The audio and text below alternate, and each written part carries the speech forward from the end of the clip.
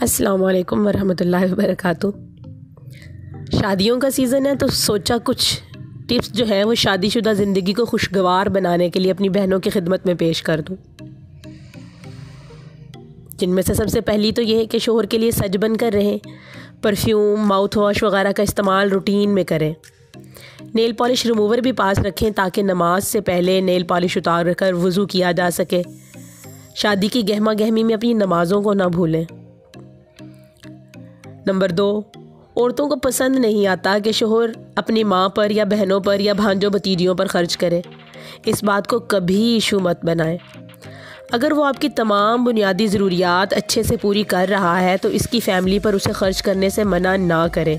मना वो होगा भी नहीं, लेकिन आप अपनी इज़्ज़त ज़रूर गंवा बैठेंगी उसकी नज़र में भी और ससुराल की नज़र में भी।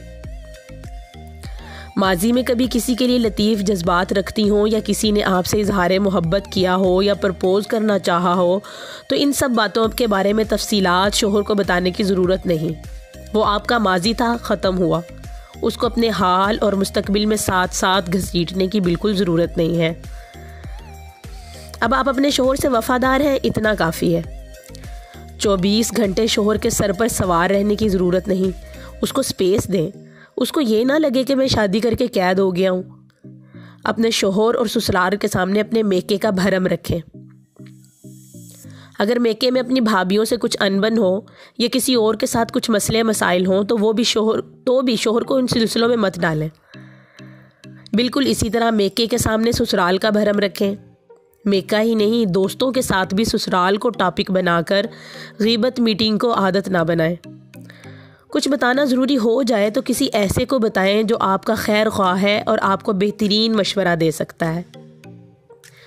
रोज़ अम्मा को फ़ोन करके अभी ताज़ा ताज़ा तवे से उतरी गर्मा गर्म रिपोर्ट देने की भी ज़रूरत नहीं है। इससे भी घरों में बहुत मसाइल जन्म लेते हैं। इसलिए बिला नागा बात करनी ज़रूरी है ही नहीं। और उदासी और परेशानी वाले मूड में तो बिल्कुल बात ना करें। नॉर्मल हो जाने के बाद बात करें। छोटी मोटी बात को इग्नोर कर दें। हर बात पर महाज खड़ा नहीं करना होता। और जो बात वाकई बर्दाश्त ना कर सकें, उसे पहले दिन भी बर्दाश्त ना करें।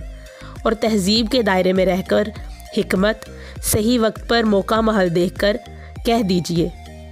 सबसे अहम चीज़ दुआ। अल्लाह तो अपने हैं ना, उनसे बात कहने में क्या घबराना, क्या शर्माना? तो कह दीजिए अल्लाह। अल्लाह आपके शोहर को आपकी रूह का साथी बनाए, ये रिश्ता अपने साथ बरकत लेकर आए। आपका शोहर, आपके ससुराल वाले आपसे मोहब्बत करने वाले हों, इज़्ज़त करने वाले हों, आपकी कदर करने वाले हों। और ये कि आपको भी अल्लाह ताला ऐसा बना दें कि महदब शीशा लगाकर ससुराल वालों की खामियाँ ना ढूँढने वाली बन जाएँ आप, बल्कि उनकी छोटी छोटी खूबियाँ भी नोट करें और खुले दिल से उनकी तारीफ़ करने वाली हों।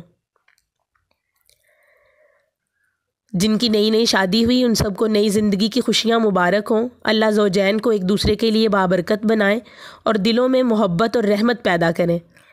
और जिनकी शादी पुरानी हो गई है, वो भी अगर इन टिप्स पे अब से अमल शुरू कर दें तो ज़िंदगी में रहमतें, बरकतें अल्लाह ताला दोबारा से जो है वो पैदा कर देंगे।